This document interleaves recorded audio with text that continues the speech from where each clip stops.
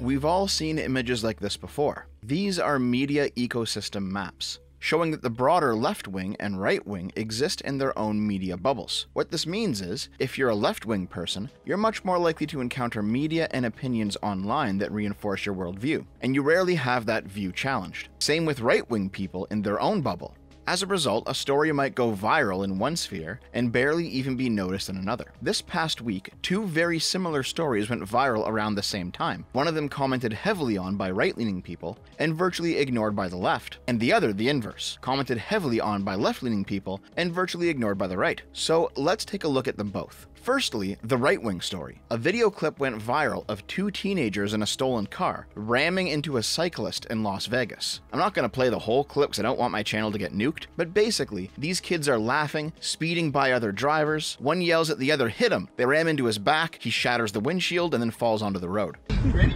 Yeah, yeah, yeah. Hit his ass. The two kids laugh about how hard he got hit, and then exclaim that they gotta get out of there before they get caught. The video was taken from the passenger seat, so it was quite nice of these idiots to record proof of them committing a murder. The event happened back on August 14th, but the story only hit the current news cycle after the video clip went viral on September 15th, presumably shortly after the two were arrested. Jesus Ayala had just turned 18, Jzamir Keys was 16. Ayala seemed to be under the impression that he was still a juvenile, saying to the police, You think this juvenile is going to do some time? I'll be out in 30 days, I bet you. And it's just a hit and run, slap on the wrist. Ayala had not been informed of any hit and run charges against him when he made these statements as the police were only there to arrest him under a prior warrant. These statements and the video footage allowed the cops to slap him with 18 charges, including murder, attempted murder, and grand larceny. Ayala's mother apologized for her son's actions, saying through a translator, I don't know if God can forgive him. And yeah, despite Ayala clearly being Latino, his booking paperwork shows that the police filed him as white. Jzamir Keys was arrested on a different day and had a different appearance in court from his friend, and I wasn't able to dig up what charges he's been slapped with. But despite being 16, he's also being charged as an adult. Keys' mother was not apologetic like Ayala's was, saying that her son's true story will come out, not these media false representations. The investigation eventually uncovered that on that same day, these guys stole three vehicles in total, hit the one guy, tried to hit another, and also committed a burglary. The man that was killed was a retired police chief, Andreas Probst. How do you pronounce that name? Probst? It's a horrible story, but it's also a really simple case. Two idiot kids went for a joyride and racked up a huge list of charges multiple car thefts, murder, attempted murder. It's like it's Grand Theft Auto over here. They've got physical evidence, video evidence. Ayala was stupid enough to open his dumb fuck mouth when he was being arrested. This is an open and shut case. As always, wait for the trial, who knows? Maybe some weird evidence might come out or something. But as it currently stands, I feel pretty confident that justice will be done here. The evidence is just that overwhelming. The point is, though, this story only went viral within right wing social media circles. I follow a healthy amount of lefties online, and almost none of them are talking about it. The few that were were these fringe revolutionary ACAB types saying that Probst deserve it because he was a cop, and that he's also corrupt because he took a disability pension that was under legal scrutiny back in 2011, making these kids heroes for purging a corrupt pig or something like that. Though I want to make it very clear, that opinion was only expressed by a very fringe minority of the online left. The majority of leftists just seem to be ignorant that this event even happened. Now let's take a look at the left wing story. A video clip went viral of a Seattle police officer responding to an emergency call. He was speeding to the scene, doing 74 miles in a 25 mile per hour area, which cops are allowed to do, but he didn't have his lights or his siren on, failing to alert himself to everyone else on the road. Just like last time, this is footage of a death, so I'm not going to show the whole clip. He rams into a woman walking down the street, in pretty much the same way as the previous story. She hit the passenger side windshield and died. Afterward, he pulls over and reports the incident to dispatch, with a particularly disinterested and annoyed tone in his voice, like this is some inconvenience for him. 3 Mary 2, start a supervisor, start fire for a struck pedestrian. Is it the same location, sir? Negative, I'm going to be on Aurora. Later on in the clip, he's caught laughing to somebody on the phone about the incident, allegedly someone from the police union, remarking that she was just a regular person who had limited value, and that the city should just cut her family an $11,000 check to make it up to them. But she is dead.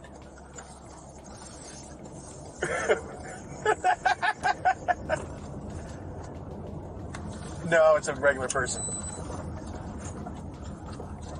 Yeah,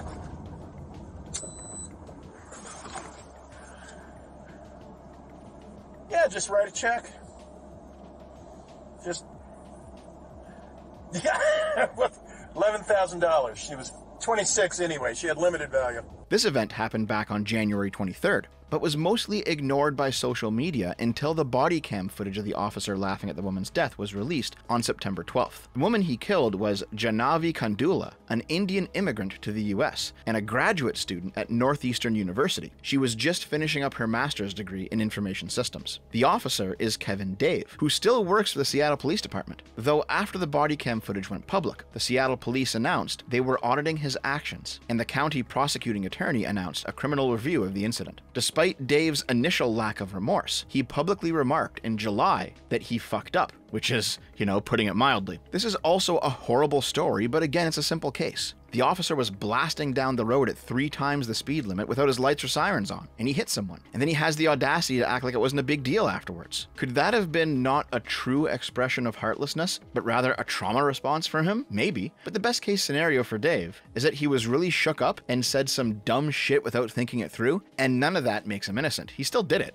Hey, this is Future Dev recording this during editing. Even though every online source that I could find about this story says that the officer who hit the pedestrian and the officer who was caught making callous remarks on his body cam were the same officer, they might not be. While editing this video, I noticed that the two body cam feeds have a different serial number. That might mean that this is two different officers with two different cameras. However, most mainstream articles haven't pointed out these are two different officers. Alright, I just went and checked. In between my writing this script a few days ago and editing it today, the contents of a lot of these articles started getting changed. These outlets are correcting the record. This shouldn't really change the content of this video though, because this isn't about the stories themselves. It's about media bubbles and people's reaction to the stories. Anyway, let's get back to it. This story only went viral within left wing social media circles. I also follow a healthy amount of righties online, and almost none of them were talking about it either. The few that did were these fringe white nationalist types, making jokes about India and talking about removing all the immigrants, and there was even less of these guys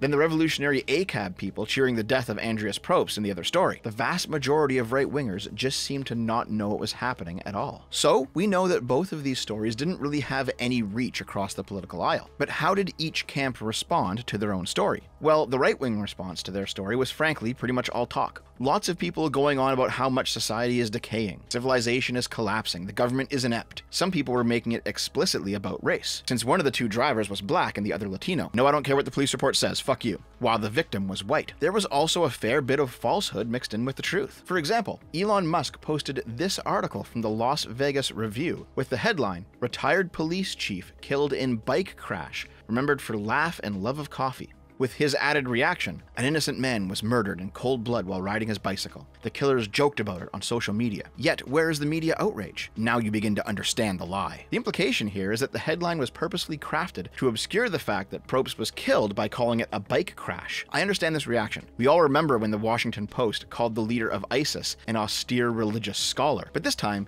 it's actually wrong. The article in question was published on August 18th, only a few days after the event, long before anyone knew what actually happened. A subsequent article published on August 31st, after the media had viewed the video footage, explicitly outlines the hit and run. Thanks, Community Notes. You continue to help everybody out, even if it means shitting on Elon in the process. Everyone's favorite culture warrior, Ian Miles Cheong, showed up with this video clip from a press conference discussing the event. We believe that Andy's murder is a direct result of society's decayed family values and the strong effects that social media has on our youth. We as a family in no way feel that Andy's murder was based on race or profession. It was a random act of violence. We ask you to not politicize or use Andy's murder to fuel political agendas or to create cultural wars. Now, I don't know about you, but I don't think his description of this clip as Probst's daughter doesn't blame the assailants, holds social media responsible, and her devotion to diversity is unshaken is an accurate description. In fact, that sounds like spin. It's pretty reasonable to assume that this wasn't a targeted attack against white people. It was two joyriding retards who are sociopathic enough to think that hitting somebody constitutes fun. If it were a non white cyclist, I have no doubt they would have also run him down for their laughs. The opposite of this claim, that it's somehow this racially motivated anti white attack, is Tariq Nasheed's take, who came out and said that the two were actually white Hispanics, making this a case of white on white crime. These people are all just retarded. Most of the right wing reactions appealed to the same sentiment that Elon did when he asked, Where is the media outrage? There were lots of people saying, Where's the outrage, in fact. An editorial on the New York Post titled, Andreas Probst Murder Shows Lefty Media's Willful Blind Spots states that the crime is so violent, so nihilistic, one would expect a national spotlight on it, yet that simply hasn't happened in the month since the killing.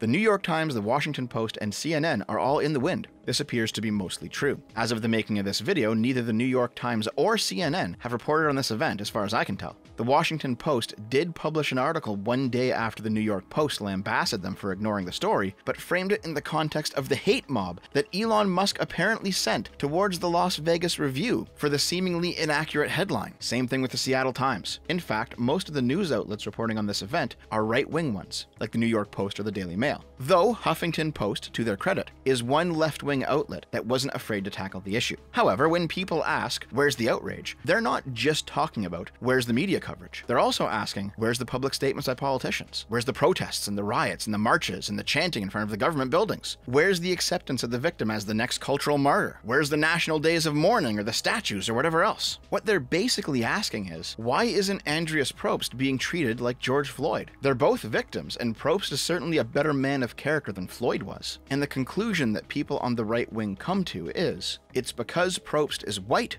and white victims make bad martyrs. Sometimes their conclusion is that the perpetrators are non white, but most of the time it's that the victim is white, and the cathedral does not commemorate white victims. That is the right wing view of the situation. At the same time, though, all of those right wing people who were outraged, they only seem to be outraged online. As far as I can tell, they didn't get together to march on City Hall or anything like that, but the people outraged at the left wing story, they absolutely did. Now, it is true that there absolutely was more of a mainstream media reaction to the killing of Jaahnavi Kandula. CNN, Washington Post, NBC, New York Times. But there was also a larger grassroots response as well. Online petitions, protests, marches in a bunch of major American cities. Did the mainstream media response only happen because of the grassroots activism, cluing them into the story? That's possible. Leftists do tend to do more on the ground marches and activism than rightists. The leftist tendency to protest and riot in real life might have been the driving factor here. Or did the mainstream media response cause that grassroots activism by pushing the story into the news cycle? That's also very possible. It might be the case that there was no real life outrage over the Probst killing because of a media failure in comparison to the media shining their spotlight on the Kandula killing. It's hard to tell. The earliest tweets about the Kandula story from this news cycle are from around the same time as the earliest articles were published, so we don't really know whether the chicken or the egg came first. Could it be because of the stories themselves? The first is about two non white youths driving around in a stolen car and killing a random white guy for kicks, who just happened to be a retired cop. It doesn't seem like they killed him because he was white, and they didn't know he was a cop. But those two things are absolutely factors in choosing not to report on the story if the outlet in question is biased towards the left. The second story is about a cop killing a brown female student immigrant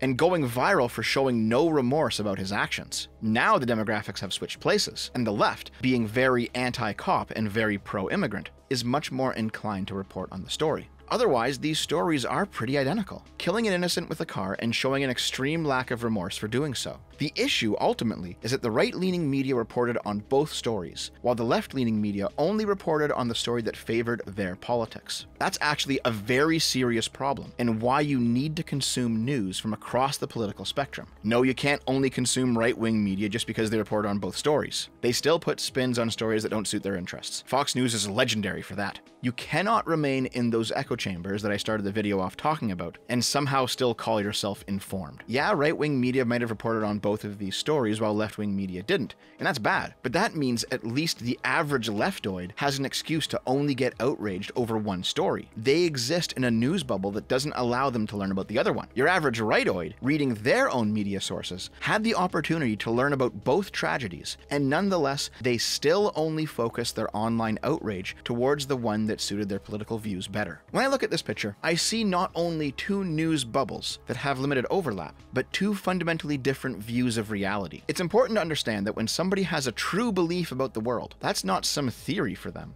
That's how reality actually looks from their point of view. Let me give you an example. Let's say that I'm accused of murder. The police find some physical evidence of me at the crime scene. There's some fingerprints, there's my hair or something. Now let's say in reality, the objective truth is that I didn't actually murder the guy. I just happened to walk through the area two minutes before. Most other people, not knowing my experiences because they didn't live them, will believe that I'm the murderer. And from their point of view, the story of reality will read that I killed somebody and got away with it. From my point of view, people treating me coldly due to their belief will appear insane to me because my reading of the story of reality says that I'm innocent. We both have different beliefs about what reality is, but those beliefs don't feel like beliefs from the point of view of the believer. They feel like reality itself. So, to the rightoid who is in their media bubble, the story of reality reads like nobody gives a shit about two non white kids callously running down a retired white cop because nobody's out there protesting, nobody's rioting, nobody's starting social movements, nobody's reporting on it in the mainstream media. While to the leftoids who are in their media bubble, the story of reality reads like nobody gives a shit about a young immigrant woman who is callously run down by a cop because it's taken six months and a possible body cam leak to the media to even get an investigation off the ground. Which belief is the actual reality? It's probably a bit of both, as unsatisfying an answer as that is. But it is undeniable that in this case, the left leaning media dropped the ball on covering the right story, while at the same time, right leaning people had more of an opportunity to care about the left story and still failed to do so. This kind of reminds me of the train derailment situation in Palestine, Ohio at the start of the year. People were screaming about how it wasn't going viral no one's talking about it, when before it went viral on Twitter, CNN and other news outlets actually were publishing articles about the event. It's just that nobody cared until that one dude stood underneath that unnaturally darkened sky and yelled that there was an emergency happening and nobody was paying attention to them. Maybe it really is one of those type of things, where if you want an event to get attention, you gotta make way more noise, both online and offline.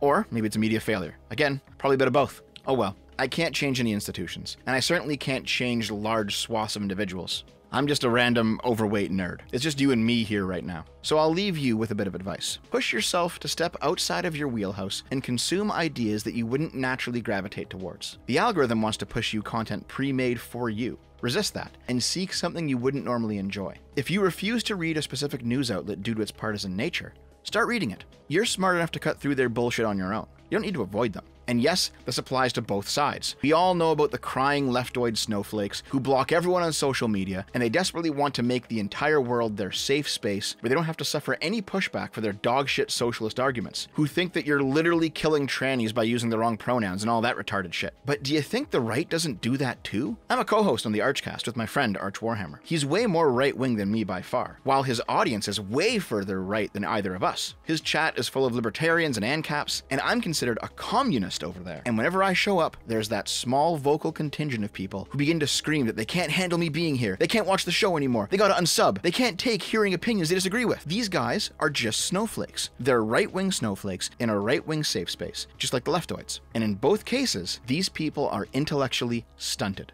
They have no response to being challenged other than to soy out. We've all got a little bit of snowflake inside of us, guys. It is uncomfortable to be pushed back on. I get it. But part of growing up is killing the snowflake and accepting that people you really disagree with do actually have some good points worth hearing. Anyway, that's all for me today, guys. Naomi and I watched that god fucking awful Strays movie. So check that vlog out. I'll also be streaming tonight, so come say hello. Okay, I'll see you guys next time. I love you.